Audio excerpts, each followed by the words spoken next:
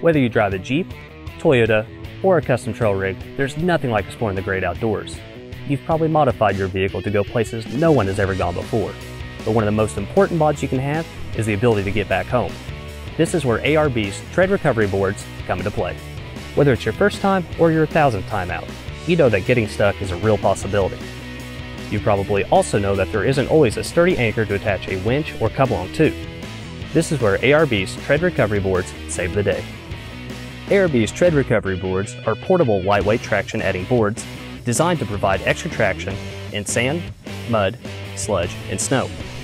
The boards themselves feature a raised center section, allowing your tires to grip in any condition and help to disperse the weight of the vehicle over a greater area. The Tred recovery boards also feature multiple mounting holes for easy mounting and features a built-in shovel should the need arise. ARB offers the Tred recovery boards in two different styles, the GT and the HD. The GT is made from automotive grade polypropylene, is rated for vehicles up to 8,800 pounds, weighs approximately 6 pounds each, and provides traction in all terrain.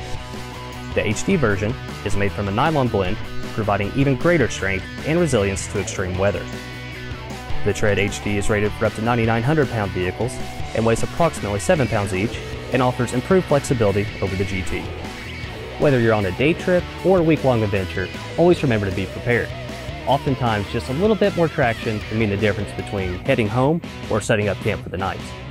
So before you go on your next adventure, be prepared and give us a call because Meyer has it.